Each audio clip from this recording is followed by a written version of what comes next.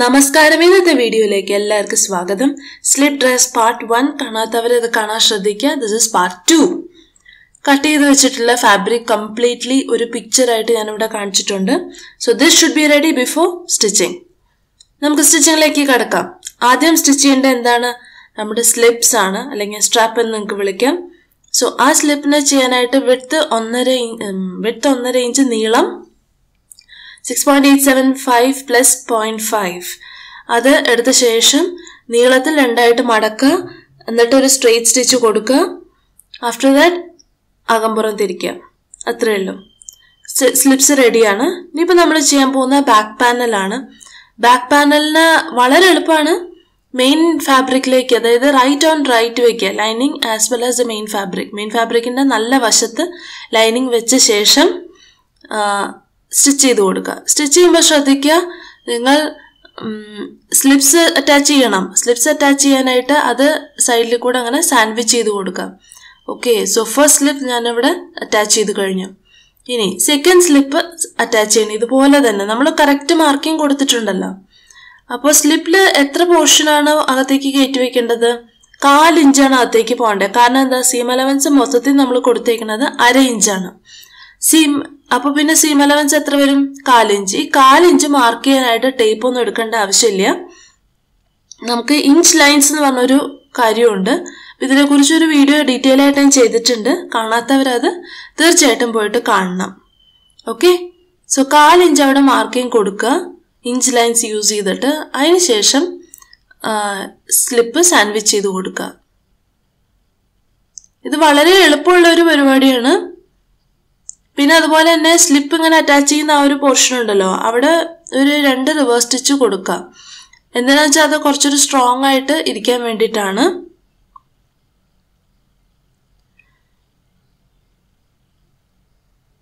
ഇപ്പൊ back panel ready ആയിട്ടുണ്ട്. Half ready എന്ന് വേണമെങ്കിൽ പറയാം.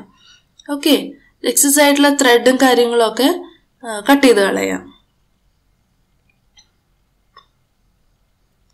പിന്നെ നമ്മളിപ്പോൾ സ്റ്റിച്ച് ചെയ്തെടുത്തിട്ടുണ്ടല്ലോ. അതിന്റെ കുറച്ച് ഫാബ്രിക് എക്സ്ട്രാ അവിടെ കിടപ്പില്ലേ? എന്ന് വെച്ചാൽ ഈ ഒരു പോർഷൻ അത് ലൈനിങ്ങിനോട് ചേർത്ത് വെച്ചിട്ട് ലൈനിങ്ങിന്റെ മുകളിൽ കൂടെ ഒരു സ്റ്റിച്ച് കൊടുക്കുക. ഇത് പറയുന്ന പേരാണ് ടോപ്പ് സ്റ്റിച്ച് ടോപ്പ് സ്റ്റിച്ച് കൊടുക്കണത് എന്തിനാന്ന് വെച്ചാൽ കുറച്ച് സ്ട്രോങ് ആയിട്ട് സ്റ്റിച്ച് ഒന്നും വിട്ടു പോവാതെ അത് ലൈനിങ്ങിനോട് ചേർന്ന് കറക്റ്റ് ആയിട്ട് അത് അങ്ങനെ ഇരുന്നോളും. അതിന് വേണ്ടിയിട്ടാണ്. സോ ഇവിടെ ശ്രദ്ധിക്കേണ്ട കാര്യം ഈ ഒരു സ്റ്റിച്ച് മെയിൻ ഫാബ്രിക്കിൽ വിസിബിൾ ആയിരിക്കില്ല.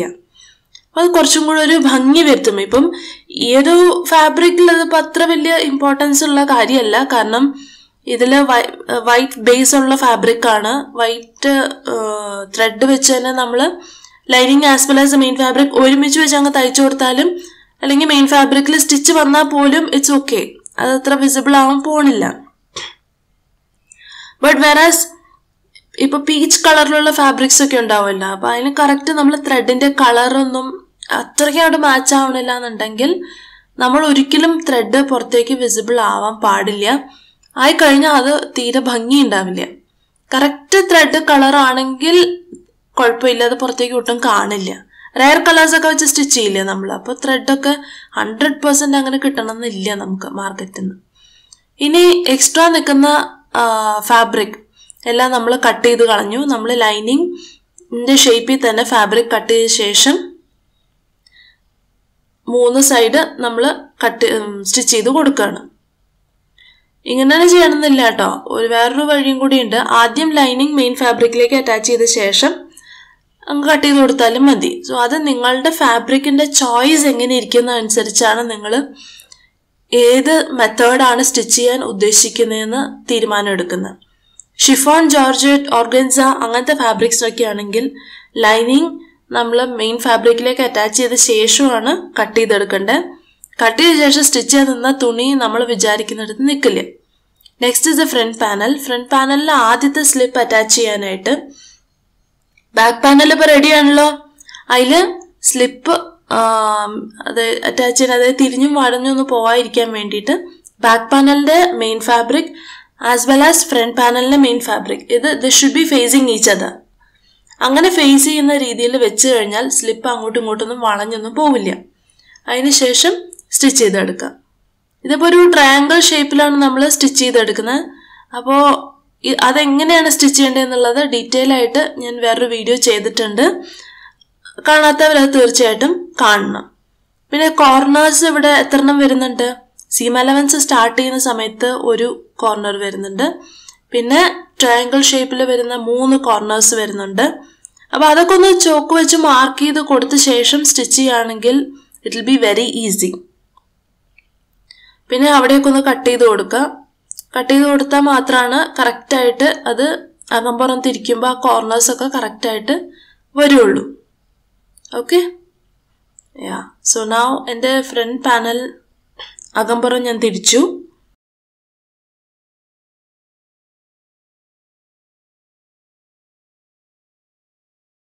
അടുത്തത് സ്ലിപ്പിന്റെ ലെങ്ത് മെഷർ ചെയ്യുക എന്നുള്ളതാണ്. എത്രയാണ് required length സ്ലിപ്പിന്റെ? Six point eight seven five so measurement tape എടുക്കുക. കറക്റ്റായിട്ട് വലിച്ചൊക്കെ പിടിക്കുക മാക്സിമം യാ ചെക്ക് ചെയ്യുക എത്രയുണ്ടെന്നുള്ളത്. കൂടുതലാണെങ്കിൽ നമ്മൾ കുറച്ചും കൂടി അകത്തേക്ക് കയറ്റി കുറയ്ക്കണം. ഇനി കുറവാണെങ്കിൽ പുറത്തേക്ക് എടുക്കുകയും വേണം. മൈനർ ഡിഫറൻസസ് ഒക്കെ ആണെങ്കിൽ കുഴപ്പമില്ല. So it comes up to six point seven five ഒരു വൺ ബൈ എയ്റ്റ് ഇഞ്ചിന്റെ ഡിഫറൻസ് ഉണ്ട്. ദാറ്റ്സ് ഓക്കെ അത്രയും മൈനർ ഡിഫറൻസസ് ഒന്നും വലിയ പ്രശ്നമില്ല.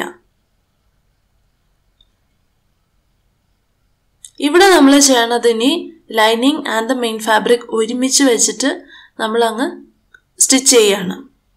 നേരത്തെ പോലെ ടോപ്പ് സ്റ്റിച്ച് അല്ല ഇവിടെ ചെയ്യുന്നത്.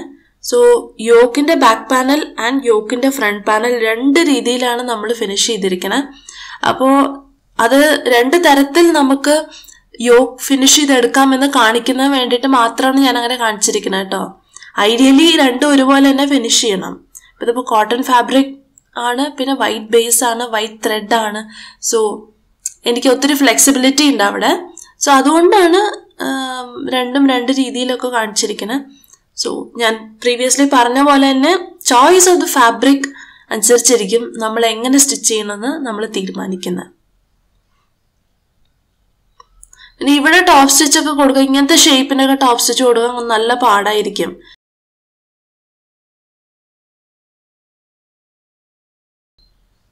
കുറച്ച് എക്സ്പെർട്ടൈസ് ഉണ്ടെങ്കിൽ ചെയ്യാം ബട്ട് ഒരു മീഡിയം ഉള്ള ഒരു മീഡിയം സ്റ്റിച്ചിങ് ഒക്കെ ചെയ്യണവർക്ക് ഇതായിരിക്കും എളുപ്പം തോന്നും.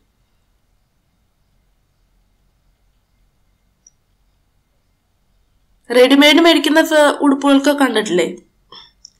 എല്ലാം ഇങ്ങനെ ഇങ്ങനെയൊക്കെ തന്നെയായിരിക്കും സ്റ്റിച്ച് ചെയ്യണേ.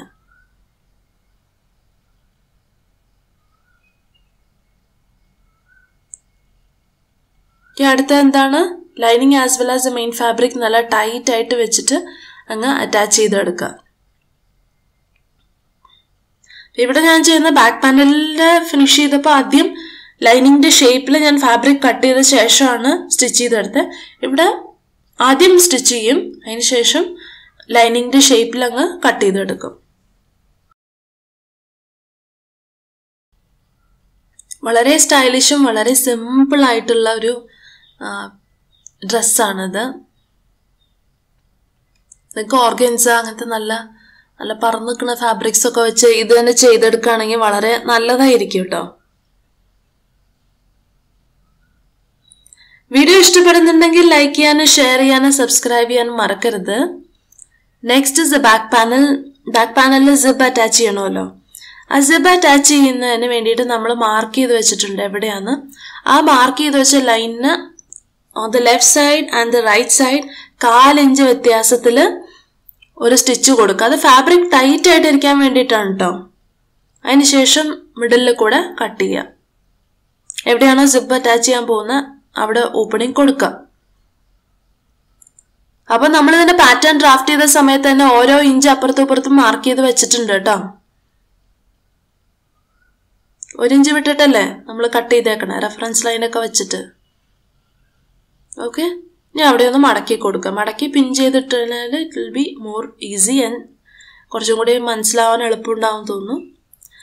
ഒന്ന് പിൻ ചെയ്ത് ഇടണം കേട്ടോ. ഞാനിപ്പോൾ ഈ വീഡിയോയിൽ അത് കാണിക്കണില്ല so yoke is ready now യോക്കിന്റെ എല്ലാ പണിയും കഴിഞ്ഞു. അടുത്തത് സ്കേർട്ട് പോർഷൻ ആണ്. സ്കേർട്ട് പോർഷൻ മൂന്ന് ടിയേഴ്സ് ഉണ്ട്. അത് ഫ്രണ്ട് പാനലിലെ സ്കേർട്ട് പോർഷൻ മാത്രമാണ് ഇവിടെ ഡിസ്കസ് ചെയ്യുന്നത്. Okay so it must be twice the waist round and second and third ഇയറിന് ഞാൻ അവിടെ പിക്ചറിൽ കാണിച്ചിട്ടുണ്ട് എങ്ങനെയാന്ന് സോ ഫസ്റ്റ് ഇയറിന്റെ വിത്ത് എന്ന് പറയുന്നത് ട്വൈസ് ദ വേസ്റ്റ് റൗണ്ട് എന്നാണല്ലോ പറയുന്നത്. So that waist round must be front പാനലാണ് front പാനലിന്റെ അല്ലെങ്കിൽ ഫ്രണ്ട് യോക്കിന്റെ മാത്രമുള്ള വേസ്റ്റ് റൗണ്ട് ആണ് അവിടെ ഉദ്ദേശിക്കുന്നത്. ഓക്കെ അടുത്തത് സിബ് എങ്ങനെ അറ്റാച്ച് ചെയ്യുന്നതാണ് കാണിക്കുന്നത്. സിബ് അറ്റാച്ച് ചെയ്യാനായിട്ട് ഇതുപോലെ ഒരു ഓപ്പണിങ് അതായത് ഫസ്റ്റ് ഇയറിന്റെ ബാക്ക് പാനലിന്റെ ഫസ്റ്റ് ഇയർ അവിടെ നമുക്ക് എന്തായാലും ഒരു ഓപ്പണിങ് കൊടുത്തേ പറ്റുള്ളൂ. കാരണം നമ്മളവിടെ വേസ്റ്റ് എക്സ്ട്രാ ലൂസ് ആക്കിയൊന്നും ഇടുന്നില്ല. കുറച്ചും കൂടെ ശരീരത്തിനോട് ചേർന്ന് നിൽക്കുന്ന ഫിറ്റിങ്ങിന് പ്രാധാന്യം കൊടുക്കുന്ന മോഡലാണ് ഇവിടെ ചെയ്യുന്നത്. So zip opening is compulsory okay so ഇവിടെ അങ്ങ് കട്ട് ചെയ്ത് കൊടുക്കുക. സിബ് അറ്റാച്ച് ചെയ്യുന്നതിന്റെ ഡീറ്റെയിൽ വീഡിയോ താല്പര്യമുള്ളവരെ ഒന്ന് മെസ്സേജ് ചെയ്യുക കമന്റ് ബോക്സിൽ ഞാൻ ചെയ്ത് കാണിച്ചു തരാം എങ്ങനെയാന്നുള്ളത്. ഇങ്ങനെ കട്ട് ചെയ്ത് കൊടുക്കുമ്പോൾ ശ്രദ്ധിക്കണം. അതായത് അറ്റം വരെ കട്ട് ചെയ്ത് കൊടുക്കണം. വേറെ സ്റ്റിച്ച് അവിടെ പോകാൻ പാടില്ല. ഇനിയിപ്പോൾ അകമ്പുറം തിരിക്കുന്നതിന് മുന്നേ ഉള്ളിൽ കുറച്ച് കട്ടൊക്കെ കൊടുക്കുക. കട്ട് ചെയ്ത് ഇങ്ങനെ കൊടുക്കുക.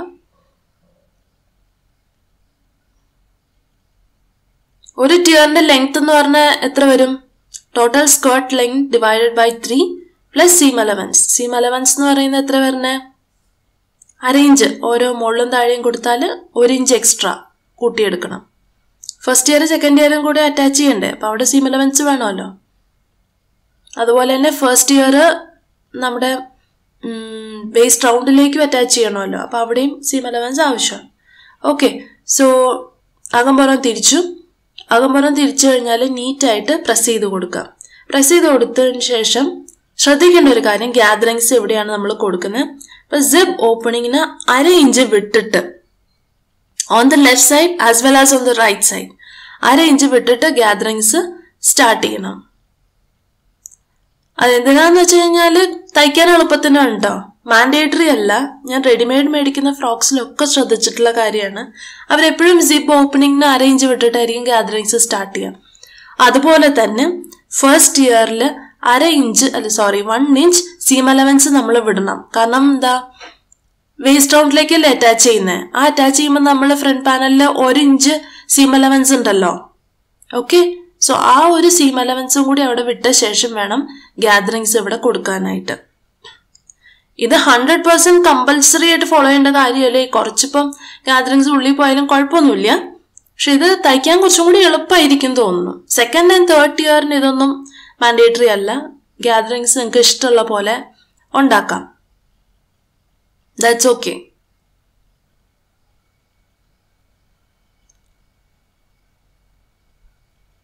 ഇനി ഫസ്റ്റ് ഇയറിലേക്ക് കണ്ടോ? ഫസ്റ്റ് ഇയറിന്റെ ഗ്യാദറിങ്സ് ഞാൻ ഉണ്ടാക്കി അതിനുശേഷം വേസ്റ്റ് റൗണ്ടിലേക്ക് അറ്റാച്ച് ചെയ്തിട്ടുണ്ട്. വേസ്റ്റ് റൗണ്ടിലേക്ക് അറ്റാച്ച് ചെയ്യുമ്പം പ്രത്യേകം ശ്രദ്ധിക്കണം. നമ്മൾ സിപ്പ് ഓപ്പണിങ്ങിന് വേണ്ടി ഇത് ഒരു അര ഇഞ്ച് അല്ല ഒരു ഇഞ്ച് ഇങ്ങനെ ഉള്ളിലേക്ക് ആക്കി ഇത് ഇങ്ങനെയാണ് മടക്കി കൊടുക്കുക. കണ്ടോ? ഇങ്ങനെയാണ് കംപ്ലീറ്റ് ചെയ്യുന്ന നമ്മുടെ ജബ് ഓപ്പണിംഗ് വളരെ എളുപ്പമാണ്. പക്ഷെ ഒന്നും കൂടി ഒന്ന് ശ്രദ്ധിക്കണം. ഞാൻ എന്റെ പിക്ചേഴ്സ് ആയിട്ട് ഞാനിവിടെ പോസ്റ്റ് ചെയ്തിട്ടുണ്ട്. സോ അത് കാണാൻ ശ്രദ്ധിക്കുക കറക്റ്റ് എവിടെയാണോ നമ്മൾ മടക്കേണ്ടത് ആ ഒരു മടക്കിലേക്ക് വെച്ച ശേഷം ഉള്ളിലേക്ക് ഇങ്ങനെ മടക്കി കൊടുക്കണം. ഇവിടെയാണ് എന്റെ സിബ് ഓപ്പണിംഗ് വരുന്നത്. ഇതിനെക്കുറിച്ചുള്ള ഡീറ്റെയിൽ വീഡിയോ ആവശ്യമുള്ളവർ കമന്റ് ബോക്സിൽ കമന്റ് ചെയ്യണം. കാരണം എല്ലാം കൂടെ ഒറ്റ വീഡിയോയിൽ കാണിച്ച ആ വീഡിയോ ഇത്രയും ലെങ്തി ആയി പോവില്ലേ? അതുകൊണ്ടാണ് കാണിക്കാത്ത കേട്ടോ.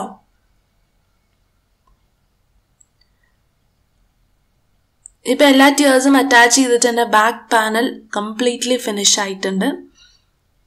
ഫ്രണ്ട് പാനലിൽ ഒരു ടിയറും കൂടി ബാക്കിയുണ്ട്. ലാസ്റ്റ് ടിയർ ഇതുപോലെയാണ് ഗ്യാദറിങ്സ് ഉണ്ടാക്കേണ്ടത് ഗ്യാദറിങ്സ് ഉണ്ടാക്കേണ്ട എങ്ങനെയാന്നുള്ളതും ആവശ്യമുള്ളവർ കമന്റ് ബോക്സിൽ കമന്റ് ചെയ്യുക ഈസിയാണ് ഉണ്ടാക്കാനായിട്ട് ഇപ്പം നിങ്ങളിത് കണ്ടറിയാം സ്ലിപ്പും മെയിൻ ഫാബ്രിക്കും കണ്ടോ? ആ ഒരു first front and back panel തമ്മിലൊരു അര ഇഞ്ച് വ്യത്യാസം നിങ്ങൾക്ക് കാണാൻ പറ്റുന്നുണ്ടല്ലോ. ഇതൊരു കൊച്ചു ഫ്ലവർ ആണ്. നിങ്ങൾക്ക് ഹെയർ ക്ലിപ്സിൽ ഹെയർ ബാൻഡ്സിൽ ഒക്കെ നിങ്ങൾക്ക് വയ്ക്കാം പുറത്ത് പോയപ്പം ഒക്കെ മേടിക്കാനുള്ള ബുദ്ധിമുട്ടായതുകൊണ്ടാണ് ഞാനത് ഇതിലേക്ക് അങ്ങ് അറ്റാച്ച് ചെയ്ത് ഇതെങ്ങനെയാണ് ഉണ്ടാക്കുന്നതെന്ന് നിങ്ങൾക്ക് അറിയാൻ താല്പര്യമുണ്ടോ? നിങ്ങൾ കമന്റ് ബോക്സിൽ കമന്റ് ചെയ്യൂ. Next video will be this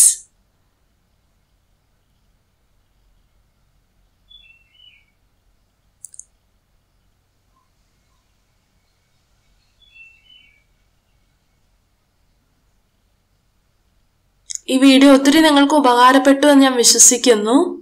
ഇനി അടുത്തത് ഇതേ പാറ്റേൺ യൂസ് ചെയ്തിട്ട് നമുക്ക് ഒരു കുർത്ത എങ്ങനെ ഉണ്ടാക്കാം? അല്ലെങ്കിൽ ഒരു A line frock with straps slip അല്ല സ്ട്രാപ്പ് യൂസ് ചെയ്തിട്ട്.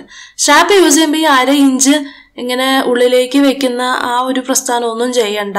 ജസ്റ്റ് സ്ട്രെയിറ്റ് ആയിട്ട് തന്നെ അങ്ങ് അതായത് ഒട്ടും ചെരിച്ചൊന്നും വെക്കേണ്ട കാര്യമില്ല. വെച്ചു എന്ന് ഓർത്തും കുഴപ്പമില്ല. എ ലൈൻ ഫ്രോക്ക് ആണിത്. ഇതിന് ജിബ് അറ്റാച്ച്മെന്റ് ഒന്നും നമ്മൾ ചെയ്തിട്ടില്ല. സെയിം പാറ്റേൺ ആണ് വളരെ മൈനർ ആയിട്ടുള്ള മോഡിഫിക്കേഷൻസ് ആണ് ചെയ്തേക്കണേ. ഇതിന് വേണ്ടി ഒരു സെപ്പറേറ്റ് വീഡിയോ ചെയ്യണ്ടെന്ന് എനിക്ക് തോന്നി. അതുകൊണ്ടാണ് ഇതിന്റെ ഒപ്പം അറ്റാച്ച് ചെയ്തത് ഓക്കെ സോ ഇതിലൊരു പ്രത്യേകതയുണ്ട്. നമ്മൾ സിബ് അറ്റാച്ച് ചെയ്യുന്നില്ല. അപ്പോൾ ഇതിങ്ങനെ ഒത്തിരി ലൂസായി പോകും നമ്മൾ ബാക്കിന്റെ ഷോൾഡർ ഈ ഇറങ്ങി കിടക്കുന്ന. അപ്പോൾ ആ ഒരു ഷോൾഡർ മാത്രം ലൂസ് കുറച്ചൊന്ന് കുറയ്ക്കാൻ വേണ്ടിയിട്ട് നമ്മൾ അവിടെ രണ്ട് ഡാർട്സ് കൊടുക്കും. വി ഷേപ്പിലുള്ള ഡാർട്സ് നമ്മൾ അവിടെ കൊടുക്കുകയാണ് അത് അങ്ങനെ കൊടുക്കുമ്പോൾ കൊടുത്ത ശേഷം സൈഡിലേക്ക് ചെരിച്ച് വെച്ചിട്ട് സ്റ്റിച്ച് ചെയ്ത് കൊടുക്കുക. അങ്ങനെ സ്റ്റിച്ച് ചെയ്യുമ്പോൾ ആ സ്ട്രാപ്പും കൂടി അതിന്റെ ഉള്ളിലേക്ക് അറ്റാച്ച് ചെയ്ത് കൊടുക്കുക.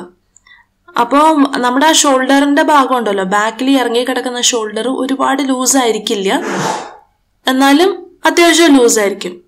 ഓക്കെ സോ കഴുത്തേ കൂടി ഇട്ട് കഴിഞ്ഞാൽ അകത്തേക്ക് കയറും പക്ഷെ ഒരുപാട് ലൂസും ആയിരിക്കില്ല. And it look good also thank you so much for watching happy swing